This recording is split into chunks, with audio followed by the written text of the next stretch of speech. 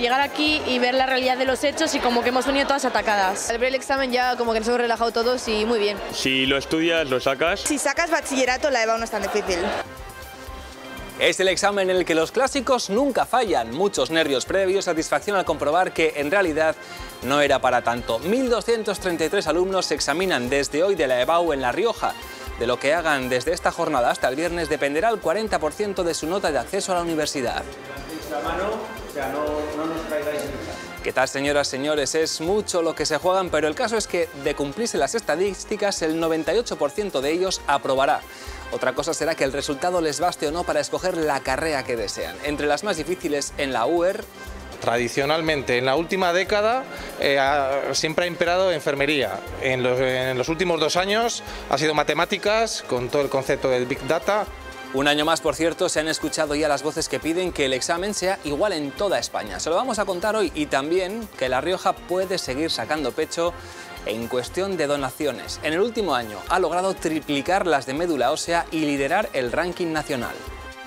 Hemos alcanzado cifras de donantes que son las mejores de España y España es la mejor del mundo, ¿no? con cifras de 80,64 donantes por millón de habitantes en el año 2018. Las cifras hablan por sí solas, pero desde Salud no se conforman. Aspiran a mantener el listón alto y que La Rioja se mantenga a la cabeza en donaciones y, por tanto, en solidaridad que salva vidas. En Logroño, aquí lo ven, el nuevo parque sobre el soterramiento está ya prácticamente terminado. 27.000 metros cuadrados que la ciudad gana con este gran espacio verde. Lo que era una herida en la ciudad se ha convertido en un gran parque que permite la unión de barrios que se encontraban separados y con ello se unen personas y se unen logroñeses que viven mucho más cerca y de una manera mucho más eh, mm, eh, cohesionada.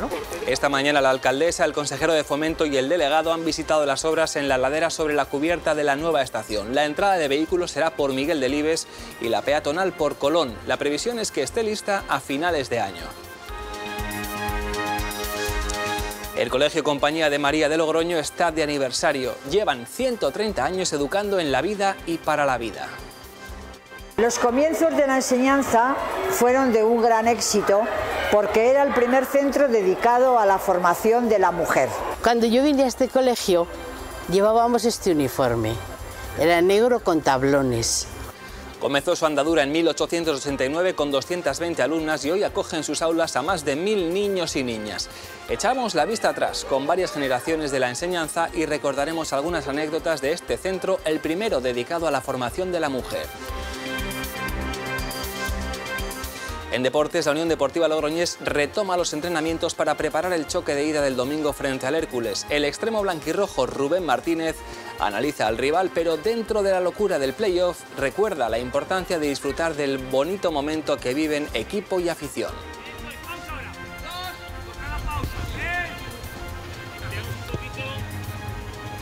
Eh, disfrutándolo muchísimo porque al final cuesta mucho llegar a, poder disputar un playoff y, y yo creo que la clave es disfrutarlo.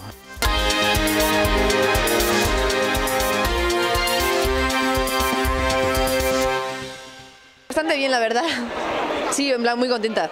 Bueno, yo creo que bastante bien, menos sintaxis, que me la he inventado un poco, era bastante difícil, la verdad. Estás nerviosa, sobre todo al principio, los cinco primeros minutos, y luego ya cuando empiezas a hacerlo, te tranquilizas. Me ha salido muy bien, estoy muy contenta. Fernández Caballero, Claudia. Son solo una pequeña parte de los 1.235 alumnos que desde hoy se examinan de la EBAU en La Rioja. Aparentemente han cumplido con la primera y principal de las recomendaciones, presentarse a la prueba con la lección bien aprendida. No sabemos si también lo han hecho con la segunda, nuevas normas de los nuevos tiempos.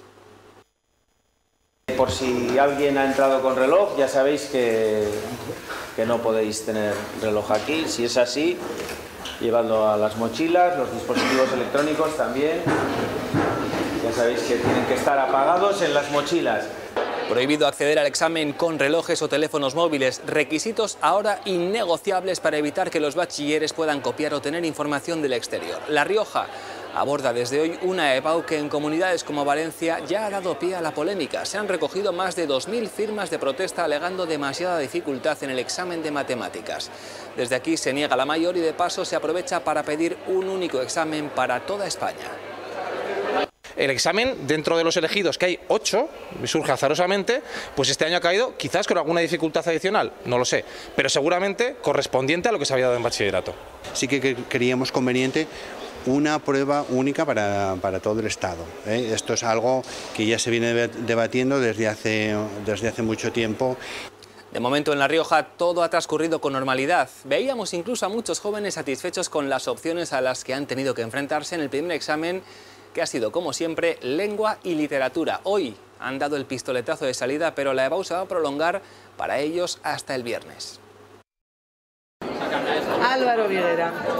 Ala, Lázaro, para adentro. Muchos inevitablemente entraban con nervios. O sea, hemos llegado todas atacadísimas. Ha sido llegar aquí y ver la realidad de los hechos y como que hemos venido todas atacadas. Pero a la salida... Ha ido bien, ha ido bien. Mejor de lo que esperaba, la verdad. Al ver el examen ya como que nos hemos relajado todos y muy bien. Ya me he concentrado y se me han quitado los nervios, así que muy bien. Es la situación que se repite en la mayoría año a año. La EBAU, antigua selectividad, ha comenzado hoy en La Rioja, salvo dos que finalmente no se han presentado 1.235 alumnos se someten a la prueba de acceso a la universidad. De la nota que sean capaces de sacar dependerá en muchos casos su futuro. ¿Cuáles son las tradicionalmente las notas de corte? Tradicionalmente, en la última década eh, siempre ha imperado enfermería. En los, en los últimos dos años ha sido matemáticas con todo el concepto del Big Data. Primer examen, lengua y literatura entre las opciones, todo un clásico. He escogido la opción B, ya que me había estudiado Valle Inclán y ha caído. Me he arrepentido de elegir la opción A, eh, pero ya no me da tiempo a cambiar y he tenido que tirar para adelante, ya está. También he elegido la A. Es que los autores eran los dos más o menos igual de fáciles, pero la sintaxis yo creía que iba a ser más fácil la de la A y luego ha resultado que no. Han tocado dos actores que más o menos me lo sabía bien y el texto más o menos ha sido bastante fácil. La mayoría ya lo ven corroborando eso que se dice siempre de la prueba. Ha sido un examen fácil, al final es como durante todo el año. Si lo estudias, lo sacas. Si sacas bachillerato, la EVA no es tan difícil. Fácil comprobarlo a toro pasado, claro está.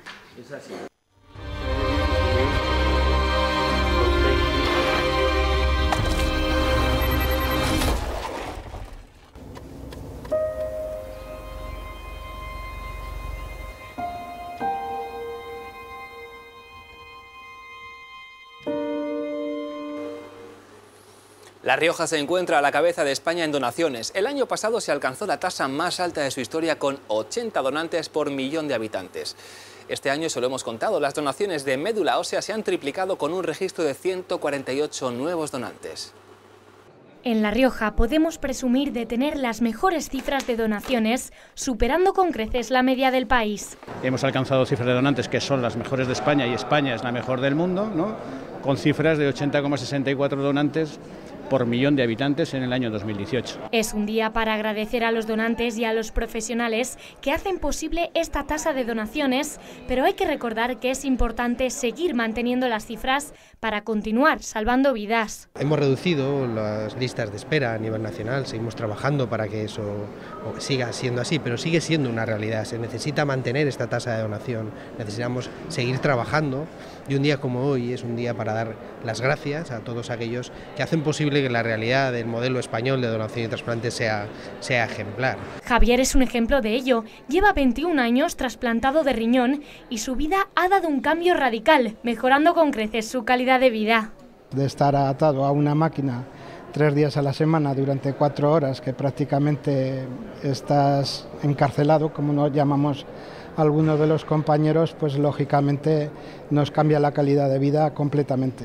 Durante todo el día, todo el que quiera puede hacerse donante de órganos acercándose a esta mesa informativa en el hall del Hospital San Pedro. Recuerden que donar órganos es regalar vida. Y les hablamos ahora de otro tipo de donaciones, las que la Fundación La Caixa ha destinado a proyectos sociales con sede aquí en La Rioja el último año y cuya cuantía asciende a 150.000 euros. Su dirección territorial ha hecho balance en este acto ante 120 empleados, clientes y entidades sociales con las que trabaja de ese esfuerzo que realiza para sacar adelante iniciativas de gran calado social. A escala nacional, Fundación La Caixa destinó el año pasado a fines sociales más de 43 millones de euros.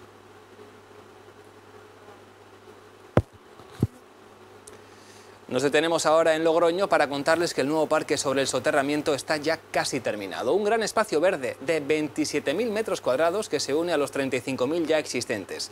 Las plantaciones ya se han realizado y únicamente falta completar el lago. En cuanto a la estación, la previsión es que esté lista a finales de año.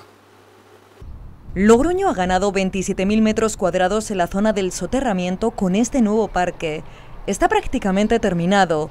Con la siembra y las plantaciones realizadas, ya falta únicamente de completar el lago.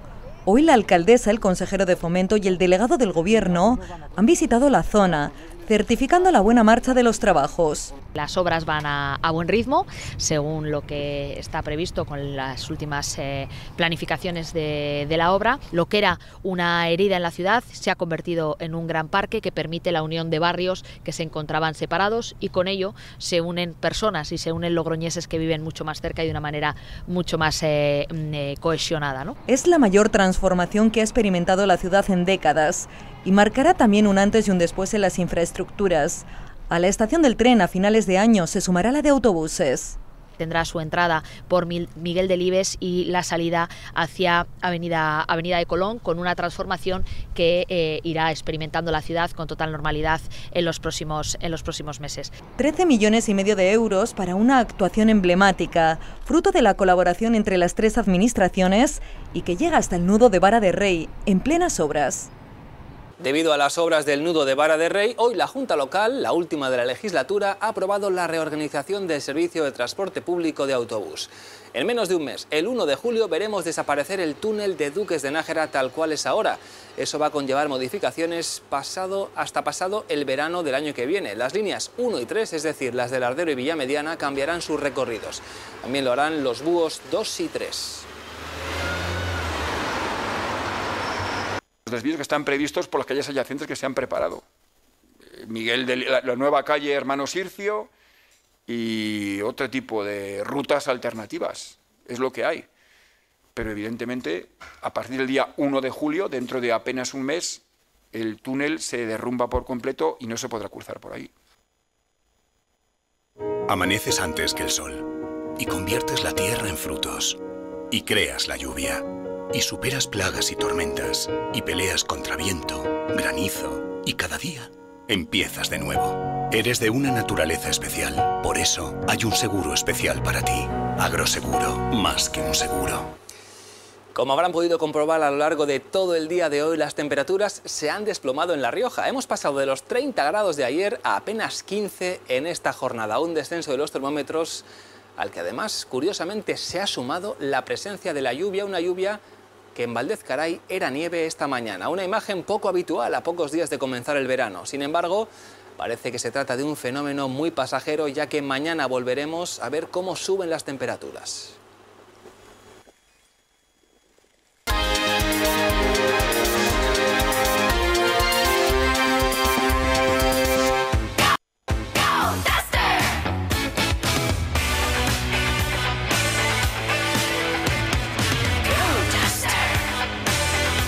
Dacia Duster, solo este mes desde 10.420 euros. Ven a tu concesionario y descúbrelo.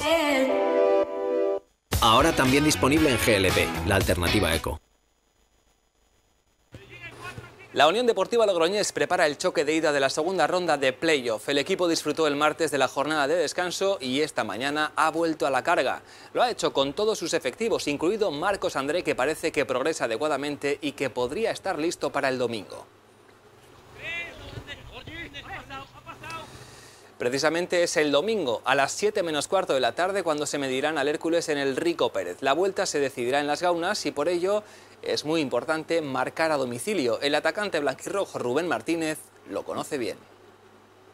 Eh, sí que es cierto pues, que hicimos una primera parte en la que concedimos demasiado, que normalmente no, concedemos, y eh, pues, aprender de ello y que no vuelva a suceder Aprender de los errores y rápido es lo que toca, por eso el susto del domingo ya está olvidado y ahora solo queda pensar en el próximo rival. Bueno, sabemos que el Hércules pues, va a ser un, un rival complicado, que ellos tienen pues grandes jugadores de, de la categoría, los, los, conozco bien porque he visto bastantes partidos de, de ellos este año y será un rival duro y, y, difícil como van a ser todos. Así ve Rubén Martínez al Hércules, un rival que cuenta con varios jugadores que ya saben lo que es ascender al fútbol profesional. El plan es el mismo que el de la ida ante el Badajoz, marcar a domicilio, hacer daño en el Rico Pérez es vital porque saben que en las gaunas no les va a faltar empuje. Muy felices de que, de que se haya enganchado la, la gente de Logroño, la gente de, de La Rioja, ellos demostraron que, que quieren volver a vivir el fútbol fútbol profesional aquí en, en, Logroño y yo estoy convencido pues que, que, eso fue lo que nos hizo en la segunda parte salir a por todas y, y conseguir el,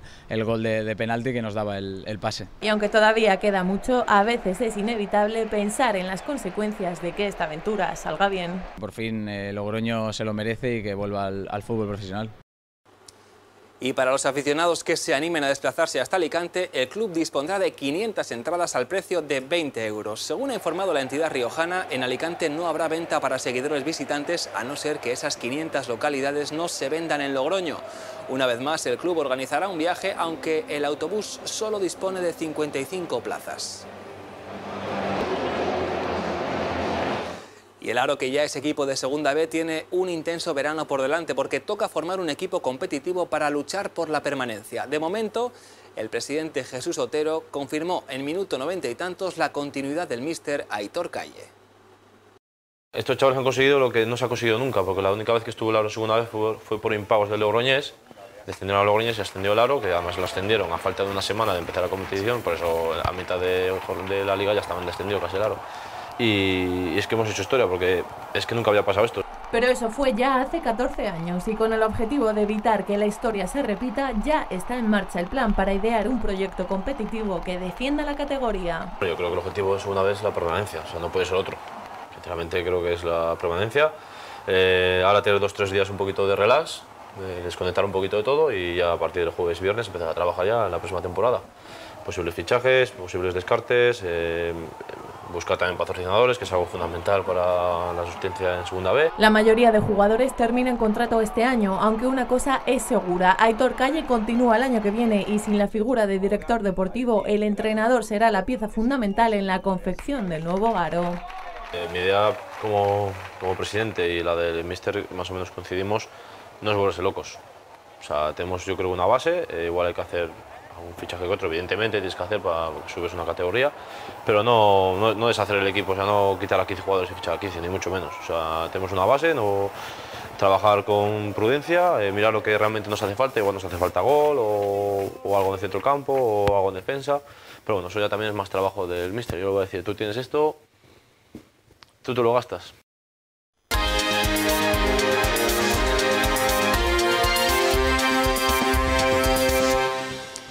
Lleva 130 años educando en la vida y para la vida. El Colegio Compañía de María La Enseñanza fue el primero dedicado a la formación de la mujer en Logroño. Comenzó su andadura en 1889 con 220 alumnas y hoy acoge en sus aulas a mil niños y niñas. Repasamos en su aniversario la historia de este centro que nunca ha dejado de innovar.